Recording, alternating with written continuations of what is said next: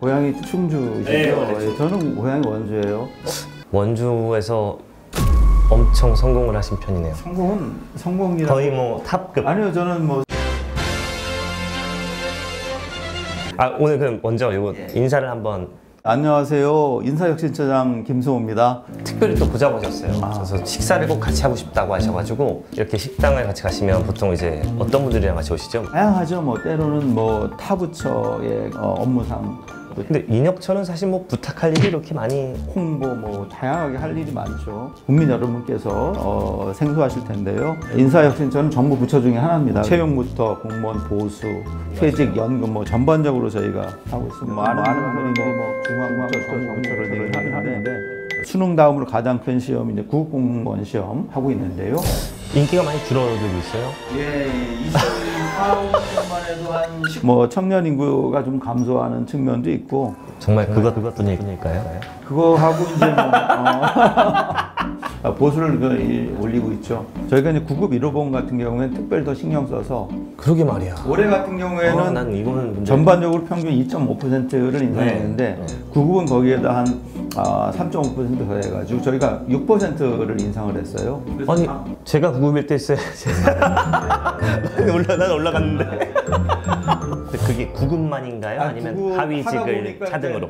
연동이 되는 거죠. 아, 하위직 9급 비율이죠. 1호봉이 올라가면은 9급 2호봉, 8급 1호봉 덩달아 올라가게 돼 있죠. 음. 예. 그- 근데 이제 인상률이 최근에 좀 뭐 예. 이번에는 좀 올랐다고 하시지만 한 5년 인상률 평균 내면 사실 우리 사회에 비해서는 엄청나게 네, 낮은 그렇죠, 거잖아요. 그렇죠. 사실상 삭감이라고 볼 수 있는데 물가 상승률 따지면은 네. 예, 안 좋아진 거죠. 예. 또 수긍을 하실 땐 하시네요. 아, 뭐 그거야 뭐 사실이니까. 이제 궁금한 부분이 딱 하나 이해 안 가는 게 있어요. 이거 변명을 못 하실 겁니다. 안절부절 못 하실 거예요. 공무원은 승진을 하면 호봉이 깎입니다. 사실 승진 체계랑 호봉은 전혀 관련이 없지 않습니까? 그렇죠. 아, 9급 3호봉에서 어, 그해 8급이 됐다. 그럼 8급 3호봉이 돼야 되는데 8급 2호봉으로 한다는 얘기잖아요. 맞습니다. 국가 인건비를 아끼기 위한 것인데 근데 이제 국가적으로 봤을 때 그럴 수도 있는데 예, 그런데- 개인적으로 봤을 때 지금 말씀하신 단위가 예. 재정을 아끼려고 최소화하려고 하, 하다 보니까 이제 호봉을 떨어뜨리는데 그 부분은 이제 잘 지적을 하셨고 저희도 한번 예산 당국하고 좀 전향적으로 사기 양양 차원에서 좋습니다. 네. 인사혁신처 같은 경우도 적극 행정을 되게 강조하잖아요. 아 그렇죠 적극 행정 규정도 있죠. 진짜 적극 행정을 내가 이거 했다. 그럼 하도 많아가지고. 아.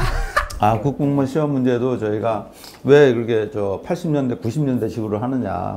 새로운 방식으로 하고 있고. 이런 생각을 해봤습니다. 인사혁신처가 적극 행정의 예. 주요 담당 부서인데 예. 인사혁신처는 적극 행정을 안 하고 있는 것 같아요. 적극 행정을 안 하고 아, 저는 것 같아요. 전국 행정 하고 있다고 아까 자, 충주시 유튜브의 사례가 정말 잘 되지 않았습니까? 적극 행정의 상징과도 같은 그런 사례인데 아직까지도 상을 안 줘요.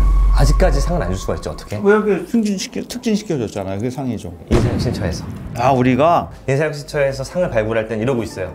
아 누가 떠주길 기다리고 있습니다. 야, 우리가 아, 아 사례가 올라와야 되는데 왜 안 오지? 적극 행정은 우리가 매년 상반기에 추천을 받아서 포상을 하는데 사례 공모를 할 때 본인이 냈어요. 안 내신 거지.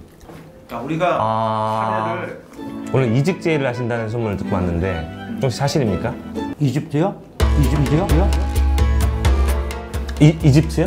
아니 아니 아니, 이 이직 이직 제의 그러니까 영입 제의를 하신다고 들었는데 누구를요? 저를 뭐 아, 니었어요 제가 공모직이 속진 임용제라고 해서 어느 부처에서 5급 공모직이 하나 떴다. 6급 공무원 1년 차도 응시할 수 있어요. 그렇다면 그러니까 6급 1년 차도 5급이 될 수 있는 길이 열려 있는 거네요. 조만간 우리 대변인실에도 한번 홍보 관련 오그 5급 공모직을 한번 띄울까? 아 이건 적임자네. 그럴 때 한번 응시를 하시면은 아 뽑아주는 게 아니라 응시를 하는 거예요? 제, 제가? 그러면 제가 굉장히 몸값이 높아져서 최대한 빠르게 제안을 주시면 제가 한번 빨리 빨리 우리 공모직 하나 올립시다. 얼른 지금 당장 올리세요. 공부 한 10일 걸리죠? 늘리지 마.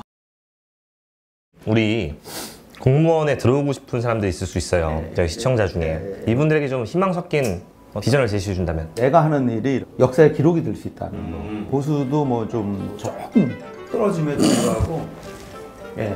아, 네, 솔직하시면 너무 네. 좋습니다. 와이프분에게 하고 싶은 말 한번. 예, 아이고 우리 저 사랑하는 우리 와이프님 제가 세종에서 왔다 갔다 하느라고 서울 집도 자주 못 가고 미안해요.